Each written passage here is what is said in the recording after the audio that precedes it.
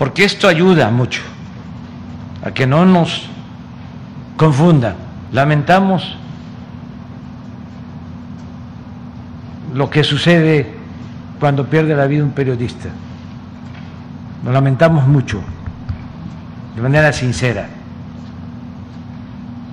Pero no es lo mismo en cuanto a la actitud que prevalecía anteriormente.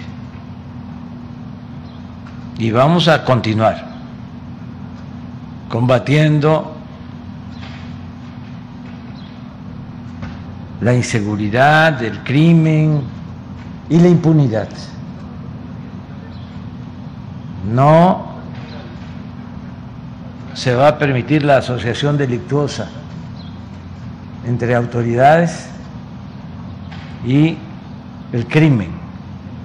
Miren esta lámina.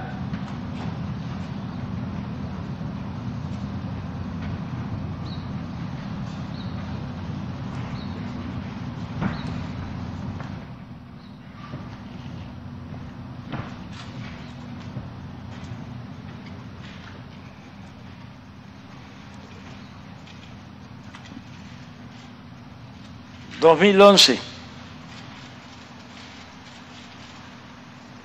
en enfrentamientos.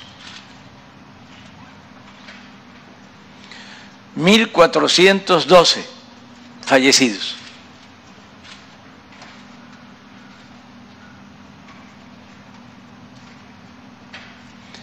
Heridos y detenidos,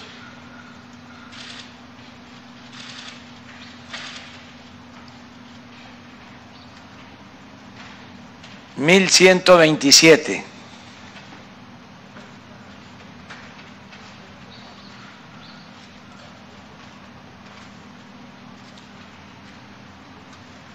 Ahora,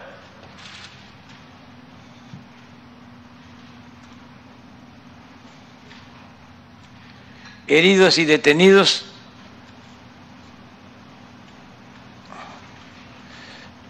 trescientos cincuenta y tres,